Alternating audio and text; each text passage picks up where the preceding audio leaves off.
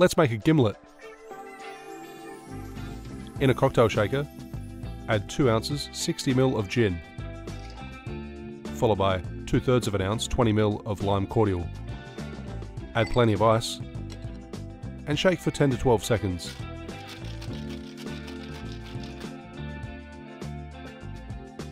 Double strain into a stemmed cocktail glass and garnish with a lime wheel.